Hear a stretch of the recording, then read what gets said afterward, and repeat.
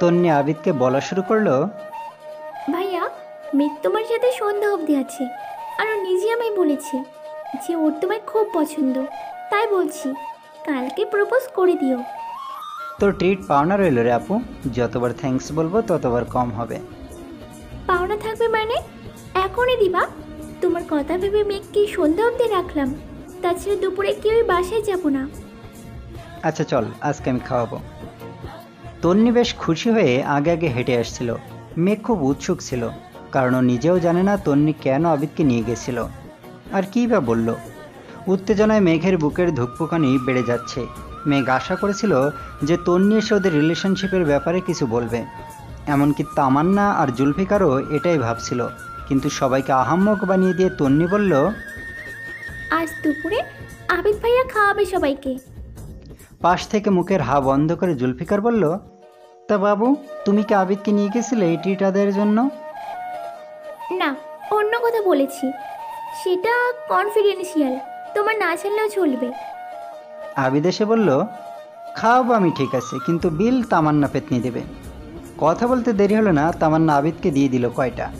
তারপর চুল টেনে বলল তোর মানি ব্যাগে কম টাকা নাই। তারপরেও লাগলে তো আমি দিই। কিন্তু পিতনি কেন ডাকবে হালার পর আর বলতো আমি তোর থেকে কয় কোটি টাকা পাই? আবিদ হেসে বলল আচ্ছা আসো সবাই। আগে খেয়ে নেই তারপরে কোথাও একটা বসা যাবে। তামান্না পাশ থেকে বলে উঠল শোনা বিদ্যা তোর নতুন কাপল তাই তোদের প্রাইভেসি দিচ্ছি। বিরক্ত করব না।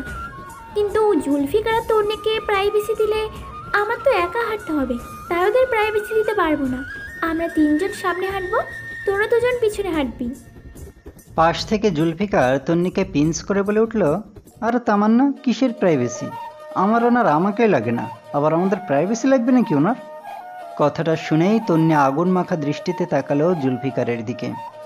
আবিদ তামান্নাকে উদ্দেশ্য করে বলল তুই একটা রিলেশনশিপে গেলেই পারিস তাহলে আর সিঙ্গেল থাকতে হয় না। কীভাবে যাব? সব মদন মার্কা ছেলেরা প্রপোজ করে। তুই নিজেই তো মদ নি প্রচুর ক্ষুধা লাগছে। খেয়ে নে তারপরে এসবের জবাব তুমি পাওয়া বাছা। জাস্ট ওয়েট করো। মেঘ বসে শুধু তামাশা দেখছে আর মুসকে হাসছে। আবিদ এতক্ষণ মেঘের দিকে তাকায়নি। হঠাৎ মেঘকে দেখতে দেখল মেঘ মুসকে মুসকে হাসছে। হালকা বাতাসে চুলগুলো উড়ছে। আর হাসার সময় চেহারার ভাঁজগুলো। মেঘ যে ঠিক কতটা আকর্ষণ করেছিল আবিদকে, তা যদি মেঘ জানতো তাহলে হয়তো এতক্ষণ ওরা কোনো পার্কে বসে প্রেমালাপ করত। তামান্না, তন্নি আর জুলফিকার হাঁটা শুরু করল। আবিদ মেঘকে বলল, চলো। মেঘের এতক্ষণ সব একদম স্বাভাবিক যাচ্ছিল। কিন্তু আবিদ একটু কাছে আসতে এই মেঘের শুরু হয়ে গেল সেই অজানা রোগ। বুক কেমন জোরে জোরে ধূপ ফুকাচ্ছে যে মেঘের ভয় হচ্ছে আবিদ না এসব শুনে ফেলে। নিঃশ্বাস নিতে সমস্যা। দেহের প্রবাহ যে কখন উষ্ণ আর কখন শীতল হচ্ছে তা বোঝা মুশকিল। এমন অনুভূতি কখনো হয়নি মেঘের। আবিদ একটু কাশি দিয়ে বলল ব্যাগটা আমার কাছে দিতে পারো? না আমি পারব।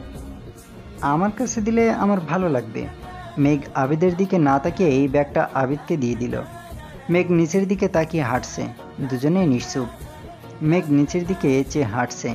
আবিদ জিজ্ঞেস করল আচ্ছা আমার সম্বন্ধে কি কি জানতে চাও?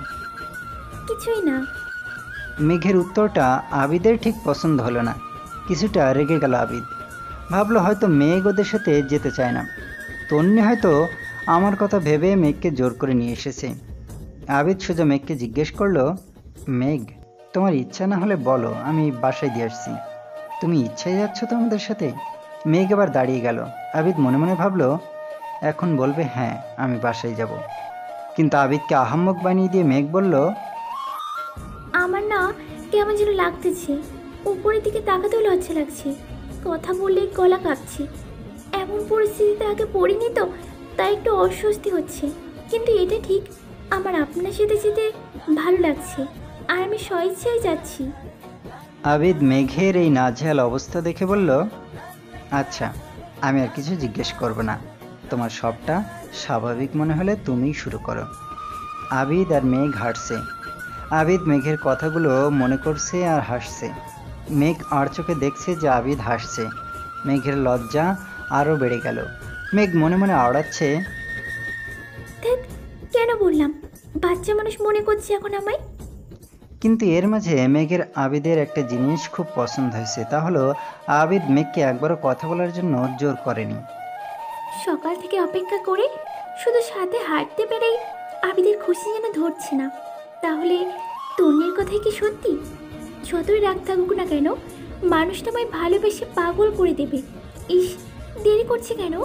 প্রপোজ করে দিলেই তো পারে। আমি হ্যাঁ বলে দিই সাথে সাথে। আমি তোর এই লজ্জা নিয়ে বলতে পারব না যে হ্যাঁ আমিও তোমায় পছন্দ করি। ইস, কি সুন্দর করে কথা বলে। যখন বলছিল, তুমি স্বাভাবিক হয়ে কথা বলা শুরু করো আমার তো তখনই জড়িয়ে ধরতে ইচ্ছে করছিল। আবিদ জিজ্ঞেস করল মেঘ লজ্জা কেটেছে? মেঘের ভাবনা ভেঙে গেল আর ভাবনার ঘুম থেকে উঠে এমন প্রশ্ন পেয়ে আরও লজ্জা লাগছে মেঘের। পারছে না এক দৌড়ে বাসায় চলে যায়। আবিদ আবার জিজ্ঞেস করল মেঘ লজ্জা কাটেনি? লজ্জা কাটানোর একটা উপায় আছে আমার কাছে। তুমি চাইলে আমি বলতে পারি। মেঘ মুখে কিছু না বলে মাথা নেড়ে হ্যাঁ বলল, একটা বড় নিঃশ্বাস নিয়ে নিজেকে প্রশ্ন করো তুমি, কেন লজ্জা পাচ্ছ? তারপরে আবার প্রশ্ন করো, লজ্জাটা পাওয়াটা কি আসলেই উচিত? তারপরে নিজেকে আবার প্রশ্ন করো, যে লজ্জার ভালো দিক কী আর খারাপ দিক কী? আবিদের এমন উদ্ভট উপায় শুনে মেঘের আহাম্মক হওয়ার মাত্রা যেন ছাড়িয়ে যাচ্ছে। মেঘের মুখে স্পষ্ট বোঝা যাচ্ছে যে মেঘ এর আগামাথা কিছুই বোঝেনি। আবিদ হেসে ফেলল মেঘকে দেখে। তারপর বলল, গতকাল আমারও এমন হচ্ছিল। তারপর আমি তোমাকে নিজের খুব কাছের মনে করলাম। এখন একটু কম হয়, কিন্তু আমার হয়। একমাত্র সমাধান হলো কাছের ভেবে নাও। কিন্তু মনের বিরুদ্ধে গিয়ে নয়। মেঘ আবারও প্রেমে পড়ে গেল আবিদের কথায়। এই ছেলে এত গুছিয়ে কীভাবে কথা বলতে জানে? কথা বলছে নাকি প্রেমের বুলি আওড়াচ্ছে? আবিদ মেঘকে বলল আচ্ছা মেঘ খুব জানতে ইচ্ছে করছে তাই জিজ্ঞেস করছি। তখন তন্নির সাথে কি কথা হচ্ছিল? মেঘ নিজেকে স্বাভাবিক করে বলল অনেক চুপ থেকেছিস আর না বেচারা সকাল থেকে বসে আছে তোর সাথে একটু কথা বলবে তার জন্যই তো। আর তুই ক্যাবলার মতো চুপ আছিস আর না মন খুলে কথা বল। তন্নি বলেছিল যে আপনার রাগ বেশি। হ্যাঁ এটা সত্যি। তা তুমি তন্নিকে কিছু বলনি? না তো। আচ্ছা একটা জিনিস চাইব। দিবা? হুম বলুন। জানি অনধিকার চর্চা হচ্ছে একদম কিন্তু এই অনধিকার থেকেই হয়তো অধিকার পাওয়ার সুযোগ পাবো। কাল একদিন কলেজ অফ দিয়ে আমার সাথে বের হবে। তুমি চাইলে সাথে ওদের নিতে পারো। আমার সাথে একা যেতে হবে না। না করার ক্ষমতা আর মেঘের রইল না। কারণ আবিদের কথা মানেই মেঘের কাছে জাদুর বলি। যা বলবে তাতেই সে প্রেমে পড়ে যাবে এমন ব্যাপার। এত লজ্জা লাগছে মেঘের যে কি বলবে সে তবুও বলল, সে যাবে। কিন্তু তন্নিকে নিতে হবে, কারণ না হলে বাসা থেকে ছাড়বে না। আবিদ বলল, আমার সমস্যা নেই। ওরা খেয়ে দিয়ে একটা পার্কে বসল। বিকাল চারটা বেজে গেছে। আবিদ তামান্নার সাথে কথা বলছে। তামান্নু, কাল মেঘকে প্রপোজ করব। তাই আজ রাতে তুই আমার বাসায় থাকবি। সারা রাত প্ল্যানিং করব। তুই তো জানিস এর আগে কাউকে এভাবে প্রপোজ করি নাই।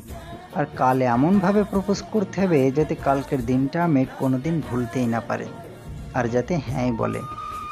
আচ্ছা ঠিক আছে। কিন্তু কথা হলো চারটা বাজে। তুই এখন গিয়ে ওকে দিয়ে আয়। এত তাড়াতাড়ি? চারটে বাজে। মেয়েটা দুপুরে খেয়েছে শুধু। গোসলটা করিনি। আমার নিজেরই অসুবিধা হচ্ছে আর ক্লান্তও লাগছে। তুই ওরে দিয়ে আয়। তারপর বাসায় গিয়ে গোসল করে একটু ঘুম দিব। তারপর প্ল্যানিং আর কি? বাসায় মানে তুই আমার বাসায় যাবি না? তোর বাসায় গিয়ে ইস্যুর জামা কাপড়ে গোসল সারবো। আর কি হাদারা? যা তো এখন। আচ্ছা আবিদ গিয়ে তন্নিকে বলল আপু তোকে জুলফি দিয়ে আসবে। আমি তোর বান্ধবীকে দিয়ে আসি নাকি? আচ্ছা সমস্যা নেই। আবিদ এবার মেঘকে জিজ্ঞেস করল আমার সাথে যাবে নাকি তন্নি দিয়ে আসবে? মেঘ চুপচাপ বসে আছে। লজ্জা ভেঙে বলতেই পারছে না যে হ্যাঁ তোমার সাথেই যাব। আবিদ বেশ বুঝতে পারছে যে মেঘ লজ্জা পাচ্ছে। কিন্তু যদি অনিচ্ছা সত্ত্বেও নিয়ে যায়, তাহলে সেটা অন্যায় হবে। আবিদ মেঘের সামনে বসে বসে বলল, মুখ ফুটে বলতে হবে না। শুধু মাথাটা নেড়ে হ্যাঁ বা না বলো। মেঘ সাহস নিয়ে মাথা নেড়ে বলল হ্যাঁ সে আবিদের সাথে যাবে। আবিদ মুস্কি হাসলো। তারপর তন্নিকে বলল, কাল তোর বন্ধুকে নিয়ে একটু বের হব। সকালে আটটায় নিয়ে বের হবার দায়িত্ব তোর। তোর বন্ধু সম্মতি দিয়ে দিয়েছে। বাকি দায়িত্ব কিন্তু তোর। হুম আচ্ছা। আবিদ আর মেঘ এখন রিকশায়। মেঘের ব্যাগটা আবিদের কোলে। মেঘের আগে ছেলে বলতে শুধু তার ভাইয়ের সাথেই রিক্সায় উঠেছে। তাছাড়া কারোর সাথে রিক্সায় ওঠেনি মেঘ। রিকশায় আবিদের এত কাছাকাছি বসে মেঘের হৃদস্পন্দন যেন স্পন্দনের নিয়মই ভেঙে ফেলতে চাচ্ছে। মেঘেদের বাসার সামনে বড় গাছটার সামনে দাঁড়িয়ে আছে আবিদ আর মেঘ। আবিদ মেঘকে উদ্দেশ্য করে বলছে থ্যাংকস ফর দ্য ডে মেঘ। মেঘ যে একটু কথা বলবে তাও পারছে না, কারণ শরীরে কাঁপন ধরে গেছে এতক্ষণ আবিদের পাশাপাশি রিক্সায় বসে থেকে। আবিদ বুঝতে পারছে মেঘের ঠিক কি চলছে। তাই মেঘকে আর অপ্রস্তুত না করে বলল, কাল আটটা বাজে, আমরা এখানে থাকব। নামতে দেরি করো না। টাটা, কাল দেখা হবে। আর রাতে কি আমি ফোন দিতে পারব কথা বলার জন্য? মেঘ কোনো কথা বলল না। ঘাড় নেড়ে হ্যাঁ বলল। মেঘ একটা শ্বাস নিয়ে বলল আমি প্রথম কোনো ছেলের সাথে এতক্ষণ ছিলাম। এই প্রথম কোনো ছেলের সাথে এতটা সময় কাটিয়েছি।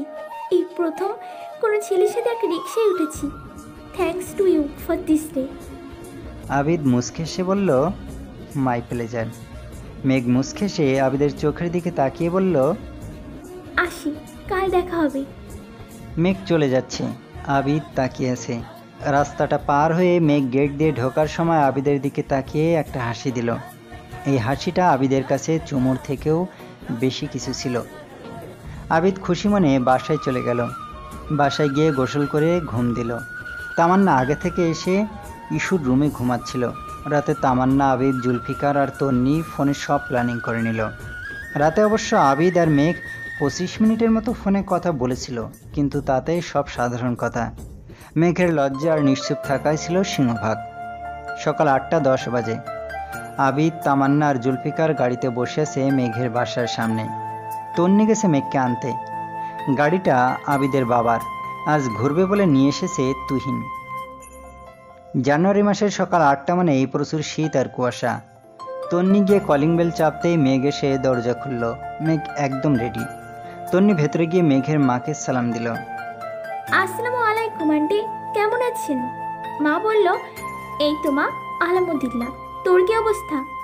এই তো, আন্টি, ভালোই। মা বলল, তা দুই বাজে সকালবেলা কই যাচ্ছিস? নতুন কলেজে ভর্তি হলি, কোথায় ক্লাস করবি, তা না করে পুরো দিন ঘুরবি? তা আবার এত সকালে বের হচ্ছিস? আরে, আন্টি, একদিনই তো। আর আমরা একা যাচ্ছি না তো। সাথে আরও ফ্রেন্ড আছে। তোমার মেয়েকে সন্ধ্যায় এনে দিয়ে যাব। আচ্ছা আচ্ছা যা। খেয়াল রাখিস দুজন দুজনের। মেঘ আর তন্নি বাসা থেকে বেরিয়ে গেল। আবিদ গাড়িতে হেলান দিয়ে গেটের দিকে তাকিয়েছে মেঘের মুখটা দেখার জন্য। গেট থেকে আগে তন্নি বেরিয়ে এলো। তারপর মেঘ বের হলো, হাত দুটো ঘষতে ঘষতে। মুখ দিয়ে সাদা ধোয়ার মতো বের হচ্ছে। ঠোঁটগুলো শীতে কাঁপছে। ওই কাপা ঠোঁটগুলো যে আবিদকে কি পরিমাণে টানছে তা শুধু আবিদই জানে। একদম বাচ্চাদের মতো সোয়েটারে প্যাকেট হয়ে এসেছে মেঘ। আবিদ ঠায় দাঁড়িয়ে তাকিয়েছে মেঘের দিকে। মেঘ আবিদের কাছাকাছি এসে বলল গুড মর্নিং। আবিদ ক্যাবলার মতো মুচকি হেসে বলল আমার জন্য তো বেস্ট মর্নিং এটা। মেঘ আবিদের কথায় লজ্জা পেয়ে মুচকি হেসে মাথা নিচু করে ফেলে। আবিদ গাড়ির সামনের দরজাটা খুলে মেঘকে বসতে বলে। মেঘ বসতেই আবিদও গিয়ে বসে পরে গাড়িতে। বাইরে ঘন কুয়াশা। গাড়িতে বসেই গাড়ি স্টার্ট করে হেডলাইট অন করে দেয় আবিদ। আবিদ আর মেঘ সামনে, আর পেছনে তামান্না, জুলফিকার আর তন্নি বসেছে। তামান্না বলল, যেতে তো দশটা বেজে যাবে প্রায়। তোরা গাড়িতে কি করবি কর? সারা রাত আমার ঘুমাতে দিস না। এখন ঘুমাবো আমি। আর আবিদ, তুইও তো ঘুমাসনি। গাড়ি সাবধানে চালাস। আর টায়ার্ড লাগলে ব্রেক নিয়ে নিস। আমি ঘুমালাম। তন্নি মাঝখানে বসেছে, দুপাশে তামান্না আর জুলফিকার। জুলফিকার গাড়ির সিটে হেলান দিয়ে, তন্নি জুলফিকারের কাঁধে মাথা দিয়ে আর তামান্না তন্নির কাঁধে মাথা দিয়ে বস্তার মতো পড়ে ঘুমোচ্ছে। আবিদ গাড়ি চালাচ্ছে আর মেঘকে দেখছে। বাইরে ঘন কুয়াশা, মেঘ কখনো এই টাইমে বের হয়নি, তাই একটু বাইরে দেখছে সে আর ভাবছে, আবিদ সারা রাত ঘুমায়নি কেন? আর আমরা যাচ্ছি বা কোথায়? যে সেখানে যেতে দুই ঘণ্টার মতো লেগে যাবে। মেঘ শুধু অপেক্ষা করছে যে কখন পেছনের ওরা গভীর ঘুমে মগ্ন হবে। আর সে একটু প্রাণ খুলে আবিদ বেচারার সাথে কথা বলবে। আর এদিকে আবিদ মেঘকে চুপচাপ দেখে ভাবলো, হয়তো মেঘ লজ্জা পাচ্ছে। আর সে কারণে হয়তো কথা বলতে চাচ্ছে না একদম। তাই আবিদ গাড়ি চালানোতে মনোযোগ দিল। আবিদ কিছুক্ষণ বাদে বাদে মেঘকে এক পলক দেখে নেয়। এক অদ্ভুত ভালো লাগা কাজ করে যখন মেঘের দিকে তাকায়। মেঘ পিছনে তাকিয়ে দেখল, সবাই ঘুমিয়ে গেছে। মেঘ একটু কাশি দিল আর কি। আবিদকে বোঝানোর জন্য যে সে কথা বলবে আবিদের সাথে। আবিদ বলল তোমার ঘুম পেলে ঘুমিয়ে যাও। না আমার ঘুম পাচ্ছে না। তার আগে বলুন আপনি সারা রাত ঘুমাননি কেন? কাজ ছিল একটু। কি কাজ? তোমার জন্যই করা কাজ। ধৈর্য ধরো কথায় আছে সবুরের ফল মিষ্টি হয়। তবে আমার কাছ তোমার কাছে মিষ্টি লাগবে না ঝাল লাগবে তা ঠিক জানি না। মেঘ মনে মনে বলল তোমায় এত ভালো লাগে আমার? তোমার কাজ কীভাবে ঝাল লাগবে? এত অল্প সময়ে কি জাদু করলে যে আমি তোমাকেই ভালোবাসতে চাই? এত অল্প সময়ে এত বেশি ভালো কীভাবে বেশি ফেললাম আমি? আবিদ মেঘের ভাবনার মধ্যে হস্তক্ষেপ করে বলল একঘেয়ে লাগছে না তো? আচ্ছা মেঘ। আবিদ বলতে চাচ্ছিল যে তোমার হাতটা একটু আমার হাতে দেবে খুব ইচ্ছে করছে ধরতে। কিন্তু সেটা অনধিকার চর্চা হয়ে যাবে ভেবে আর বলেনি। বলুন না কি বলবেন? আবির কথাটি বলল বাসায় কিছু বলেনি? এত সকালে বের হলে তার জন্য? তন্নি ছিল তো। আবিদ আর মেঘ দুজনেই চুপ। দুজনের মনেই কথা তো বহু আছে বলার জন্য কিন্তু মেঘ বলতে পারছে না লজ্জায় আর আবিদ বলতে পারছে না মেঘ লজ্জা পাবে সেটা ভেবে। মেঘ আবার পিছনে তাকালো। দেখল যে তন্নি জুলফিকারের বুকে মাথা রেখে ঘুমাচ্ছে। মেঘেরও খুব ইচ্ছে করছে একটু ডান পাশে চেপে আবিদের কাঁধে মাথা রেখে হাত জড়িয়ে ধরতে। কিন্তু কি করবে? এসব ভাবতে ভাবতেই আবিদ গাড়ি থামালো। নটা চল্লিশ বাজে। আবিদ সবাইকে উঠিয়ে দিল। ওর একটা চায়ের দোকানের সামনে। আবিদ আসলে যাচ্ছে ওর পছন্দের গ্রামের বাড়িতে। ওখানে ওর বাবা একটা প্লট কিনে বাড়ি করেছে। প্রত্যেক ছুটিতে ওরা ওখানে বেড়াতে যায়। চারপাশে জঙ্গলের মতো, ফুলের বাগানের মাঝখানে বাড়ি। আর বাড়ি থেকে সামনে কিছুটা হাঁটলেই নদী। আর আবিদ সেই নদীর ধারেই একটা উঁচু টঙের মতো বানিয়েছে দালানের মতো করে। মেঘকে ভালোবাসার কথা বলার জন্য ওর চেয়ে নিরিবিলি আর উপযুক্ত জায়গা হতেই পারে না। কারণ মেঘ যে পরিমাণে লজ্জা পায়, মেঘকে যদি কোনো পার্ক অথবা রেস্টুরেন্টে প্রপোজ করতো, তাহলে মেঘ খুব অপ্রস্তুত বোধ করতো। আর আবিদ মোটেই সেটা চায় না। তাই ওখানে নিয়ে যাচ্ছে। সবাই চা খাচ্ছে। এই হালকা কুয়াশায় আবসা রোদে চা খাওয়াটা যে কতটা স্বস্তির, তাও আবার রাস্তার ধারের নিরিবিলি টং আকারের দোকানের বেঞ্চিতে বসে। মেঘের ঠোঁটগুলো যখন চায়ের কাপে ফু দিচ্ছিল, আবিদের মনে হচ্ছিল, ইস, যদি আমি চায়ের কাপ হতাম? মেঘ যখন চায়ের কাপে চুমুক দিয়ে চোখ বন্ধ করে চা খাচ্ছিল, আবিদের মনে হচ্ছিল, আমার ঠোঁট দুটো যদি চায়ের কাপের পাশ হতো আবিদ নিজের চা খাওয়া ছেড়ে মেঘের চা খাওয়ার দৃশ্য দেখছিল। মেঘ এতক্ষণ চা খাওয়ায় মনোযোগী ছিল, কারণ গাড়ি থেকে নামার পরেই শীত করেছিল খুব। হঠাৎ দেখল, আবিদ এক দৃষ্টি অপলকে তাকিয়েছে তার দিকে। ব্যাস, শুরু হয়ে গেল মেঘের সেই ধুকপুকানি হৃৎপিণ্ডটা মনে হয় এখন বেরিয়েই যাবে, এত জোরে ধুকপুকাচ্ছে তামান্না, আবিদ আর মেঘকে এই অবস্থায় দেখে আবিদকে বলল, দেখছিস, মেয়েটা এত লজ্জা পাচ্ছে? তারপরে ভেবে তাকিয়ে আছিস কেন? চা খেয়ে শেষ কর না। অনেক তাকিয়ে থাকতে পারবি। সুযোগ চলে যাচ্ছে না। তামান্নার কথায় মেঘের লজ্জায় মাটিতে মিশে যেতে ইচ্ছে করছে। আবিদও বেশ লজ্জা পেয়েছে। জুলফিকার আর তন্নি হাসিতে গড়াগড়ি খাচ্ছে সব দেখে। আবিদ চাই চুমুক দিল। এক চুমুক খেয়ে তামান্নাকে বলল তামান্না কুত্তি তুই এখন আমার মজা উড়াচ্ছিস তো? খালি তুই প্রেম করা শুরু কর তোর আমি চিকেন বানিয়ে রোস্ট করব। তামান্না আবেদের দিকে তাকিয়ে বলল এই শীতে আমি তোর সাথে মারামারি করব না। তাড়াতাড়ি চা খেয়ে চল। চা খেয়ে গাড়িতে উঠল সবাই। সবাই এখন জেগে আছে। সবাই সবার সাথে টুকিটাকি কথা বলছে। তামান্না তখন মেঘকে জিজ্ঞেস করল আচ্ছা মেঘ আমরা যখন ঘুমাচ্ছিলাম আবির তোমার সাথে কি কি করেছে? আবিদ পেছনে ফিরে বলল এখন গাড়ি থামিয়ে তারপর তোরে মারবো কিন্তু। এখানে না থামিয়ে তাড়াতাড়ি চল। যত জলদি যাবি তত বেশি টাইম স্পেন্ড করতে পারবি। আবিদ তামান্নার কথা ভালোভাবে বুঝতে পেরেছে। তাই মনোযোগ দিয়ে গাড়ি চালাচ্ছে। প্রায় আধ ঘণ্টা পরে ওরা গ্রামের বাড়ি চলে এলো। মেঘের জায়গাটা বেশ পছন্দ হয়েছে। কিন্তু এই বাড়িটা কার? আর আমরা এখানে কেন এলাম? মেঘের মাথায় এইসব প্রশ্ন ঘুরপাক খাচ্ছে। মেঘ আবিদকে জিজ্ঞেস করল এই বাড়িটা কাদের? আমার বাবার। ও আচ্ছা। একটু দাঁড়াও আসছি। বলেই আবিদ জুলফিকারদের কাছে গেল। মেঘ চারপাশটা ঘুরে দেখছে। ফুলের বাগানগুলো খুব পছন্দ হয়েছে মেঘের। একটু পরে আবিদ এসে বলল, ওদিকটাই চলো। মেঘ আবিদের সাথে হাঁটা শুরু করল। টংটা দেখেই মেঘের খুব ভালো লেগে যায়। আবিদ মেঘকে নিয়ে সিঁড়ি বেয়ে উপরে উঠে যায়। মেঘ চারপাশ দেখছে। ঠোঁটের কোণে হাসি লেগে আছে। এই জায়গাটা এতটা সুন্দর যে যেই দেখবে সেই জায়গাটার প্রেমে পড়ে যাবে। মেঘ চারপাশটা দেখছিল। এর মধ্যে তামান্না সিঁড়ি বেয়ে উপরে আসে। তন্নি আর জুলফিকার নিচে দাঁড়ানো। তামান্না একটা ছোট কার্টুন রেখে আবিদের ঘাড়ে থাপ্পড় মেরে বলে অল দ্য বেস্ট আবিদা। একদম মন খুলে কথা বলবি। আমরা ওইদিকে আছি।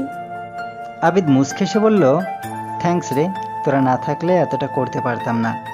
তামান্না একটু আহ্লাদি হয়ে বলল মেঘকে পেয়ে আমাকে থ্যাঙ্কস বলে পর করে দিচ্ছিস হারামজাদা? আবিদ রসিকতা করে বলে তুই আমার আপন কবে ছিলি? আচ্ছা দিলাম না। যা আমরা ওদিকে আছি। তাড়াতাড়ি এসে সুখবরটা দিস। আবিদ মুস্কি হাসলো। তামান্নার নিচে নেমে গেল। তামান্না নিচে নামতেই তন্নি আর জুলফিকারও আবিদের অল দ্য বেস্ট বলল। তন্নি মেঘকে বলল লজ্জা একটু কম করে পাস চুন্নি। বলেই ওরা চলে যায়। মেঘ আগামাথা কিছুই বুঝতে পারে না। আবিদ মেঘের দিকে তাকিয়েছে। মেঘ আবিদের চোখের দিকে তাকিয়ে কিছু জিজ্ঞেস করতে যাবে তার আগেই আবিদ কার্টুনটা খুলে একটা লাল গোলাপের তোড়া হাতে নিয়ে মেঘের সামনে হাঁটু গেড়ে বসে পড়ল। এবার মেঘ বুঝতে পারল অল দ্য বেস্টের রহস্য। মেঘের কি যে খুশি লাগছে এই দিনটার জন্যই অপেক্ষা করেছিল সে। তার কানগুলো আকুল হয়ে আছে আবিদের কথাগুলো শুনে আবার আবিদের প্রেমে পড়তে। আবিদ গোলাপের তোড়াটা হিমাদ্রির সামনে ধরে বলা শুরু করল, মেঘ, তুমি আমার জীবনের প্রথম মেয়ে যাকে দেখে আমার হৃদস্পন্দন বেড়ে গেছিল। আমার জীবনে নামমাত্র প্রেম তো এসেছে, কিন্তু ওগুলো শুধুই অ্যাট্রাকশন ছিল। ভালোবাসার সিটে ফোটাও ছিল না। কিন্তু তোমার প্রতি আমার যেটা, সেটা শতভাগ আমার পবিত্র অনুভূতি। তোমার প্রত্যেকটা জিনিসই ভালো লাগে আমার। আমি হয়তো খুব তাড়াতাড়ি তোমার কাছে ব্যক্ত করে ফেলছি আমার অনুভূতিগুলো। কিন্তু কি করব বলো? খুব বেশি অনুভূতি তৈরি হয়ে গেছে তোমায় নেই অল্প কয়দিনে। তাই আর পারছিলাম না তোমায় ভালোবাসে কথাটা না বলে থাকতে। বিশ্বাস করো, আমি তোমার পছন্দ অপছন্দ সম্বন্ধে কিছুই জানি না। কিন্তু আমি তোমার পছন্দ, অপছন্দ, ভালো লাগা, খারাপ লাগার এক অংশ হতে চাই। কষ্ট হয়তো অনেক পাবা। আমি রেগে হয়তো তোমায় অনেক কষ্ট দিয়ে ফেলব। কিন্তু বিশ্বাস করো, আমি তোমায় কোনো দিন ছেড়ে দেব না। শুধু একবার বিশ্বাস করে পথ চলার জন্য আমার হাতটা ধরো। রেগে হয়তো বা বলতে পারি যে চলে যাও আমায় ছেড়ে। কিন্তু সব পাগলের প্রলাপ ছাড়া আর কিছুই হবে না। আমি এ অবধি কাউকে গোলাপ দিয়ে বলিনি ভালোবাসি। তুমি প্রথম আর আমি চাই তুমি শেষ হও। আই লাভ ইউ মেক একটা সুযোগ দাও ভালোবেসে ভালোবাসা পাবার। হয়তো তাড়াতাড়ি সবটা হয়ে যাচ্ছে তাই তুমি কনফিউজড কিন্তু বিশ্বাস করো, তুমি ঠকে যাবে না। আমি তোমায় আমরণ ভালোবাসবো। বিনিময়ে তুমি সারা জীবন না হয় আমার হয়ে থেকো। আর একটু একটু করে ভালোবেসো। বলো মেঘ হবে আমার সবটা? বাসবে আমায় ভালো? পারবে আমায় করে নিতে তোমার সবটা? মেঘের চোখে পানি তো আসেনি কিন্তু মেঘের কলিজা ভেজে গেছে আবিদের এই সরল স্বীকারোক্তিতে। এই ছেলেকে আর কীভাবে না বলব আমি? আমি যে প্রেমে উন্মাদ হয়ে গেছি আমি যে শুধু আবিদেরই তাতে কোনো সন্দেহ নেই। মেঘের চুপ থাকা দেখে আবিদ আবার বলল I love you Megh. Will you be my everything for ever ever ever and ever I will I love you too Abid. বিশ্বাস করো আবিদ আমিও তোমায় ভালোবেসে ফেলেছি। আর তাতে বিন্দুমাত্র সন্দেহ নেই। কথা দিচ্ছি, তোমার সবটুকু হয়ে তোমাকে নিজের সবটুকু করে নেব। সে যত রাগই করো না কেন, যতই কষ্ট দাও না কেন, শুধু আমি যখন অসহ্য হয়ে অভিমান করে বসবো, তখন একটু সময় নিয়ে ভাঙিয়ে নিও আমার অভিমান। আমি এর আগে কখনো কাউকে ভালোবাসিনি, তো এই বিষয়ে আমি একদমই বুঝি না কিছু। কিন্তু আমি এটা জানি যে তুমি আমায় আর আমি তোমায় ভালোবাসি। আমাদের সম্পর্কে যেন কখনো কৃত্রিমতা না আসে। আমরা যেন অকৃত্রিমভাবে ভালোবেসে যেতে পারি আজীবন শুধু এতটুকুই চাইব তোমার কাছে। দেবে আমায় প্রতিশ্রুতি। আবিদ মেঘকে জড়িয়ে ধরে বলল কথা দিচ্ছি তোমায়। তোমায় আমরণ অকৃত্রিম ভালোবাসবো। কখনো ছেড়ে যাব না। মেঘ আবিদের সামনে বসে পড়ল তারপর বলল মনে থাকবে তো এসব? আবিদ মেঘের গালে হাত রেখে বলল ভুলে যাবার কোনো ইচ্ছা নেই আমার। তবুও যদি ভুলে যায়, তাহলে কাছে এসে না হয় মনে করিয়ে দিও। মেঘ মুস্কি হাসল। তারপর আবিদের হাত থেকে ফুলের তোড়াটা নিল। আবিদ কার্টুন থেকে একটা কাপল অচ আর একটা কাপল রিং বের করল। মেঘকে পরিয়ে দিল ঘড়িটা আর রিংটা। মেঘের হাতে দুটোই বরাবর লেগেছে। এর কারণ হলো তন্নির ইনফরমেশন তারপর মেঘ ও আবিদকে ঘড়ি আর আংটি পরিয়ে দিল। আবিদ মেঘের হাত ধরে নদীর দিকে তাকিয়ে আছে। আবিদ মেঘকে জিজ্ঞেস করল আচ্ছা মেঘ একটা কথা বলব কিছু মনে না করলে? কিছু মনে করার মতো সম্পর্ক কি আছে আমাদের মধ্যে? এত ফর্মালিটি না করে বলে ফেলো। জানি খুব জলদি আবদার করে ফেলছি কিন্তু সকালের তোমার এই কাঁপা কাঁপা ঠোঁটটা দেখেই তোমার ঠোঁট জোড়ায় খুব অধিকার ফলাতে ইচ্ছে করছিল। এখনও মাথা থেকে সরাতে পারিনি ওই প্রবণতাটা। দেবে একটু অধিকার ফলাতে? কথাটা শুনতেই মেঘের বুকে হাতুড়ি পেটানো শুরু হলো। না করার সাধ্য মেঘের নেই কারণ মেঘ যে বাধা পড়ে গেছে আবিদে। তাই মাথা নিচু করেই বলল এইভাবে কখনো জিজ্ঞেসই করবে না। যখন আদর করতে মন চাইবে করে ফেলবে। আদর করা আটকে রাখা যে কত কষ্টের সেটা আমি সকালে বুঝেছি। মানে? আমার সকালে খুব ইচ্ছে করছিল তোমার ঘাড়ে মাথা রেখে গাড়িতে বসতে কিন্তু লজ্জার কারণে পারিনি। আমিও হাত ধরার জন্য মরে যাচ্ছিলাম, কিন্তু তুমি কীভাবে নেবে ব্যাপারটা তা ভেবে আর ধরা হয়নি। মেঘ মাথা উঠিয়ে আবিদের দিকে তাকাতেই আবিদ মেঘের কোমরে হাত দিয়ে মেঘকে কাছে টেনে নিল। আবিদ আস্তে আস্তে মেঘের ঠোঁটের দিকে এগোচ্ছে। মেঘের হৃদস্পন্দন বেড়ে চলছে। চোখ বন্ধ করে ফেলেছে মেঘ। নিঃশ্বাস উত্তপ্ত হয়ে উঠেছে দুজনার। আবিদ মেঘের ঠোঁটে ঠোঁট ছুঁয়ে দিতে মেঘ আবিদের শার্ট খামছে ধরল। শরীরে এক অদ্ভুত কাঁপনের সৃষ্টি হয়েছে মেঘের। আবিদ আর মেঘ দুজনেই আপন মনে অধিকার ফলাচ্ছিল দুজনের উপর। তখনই পাশ থেকে তালিবাজার শব্দে মেঘ আবিদকে ছেড়ে একটু দূরে সরে যায়। আবিদও কিছুটা অপ্রস্তুত বোধ করে।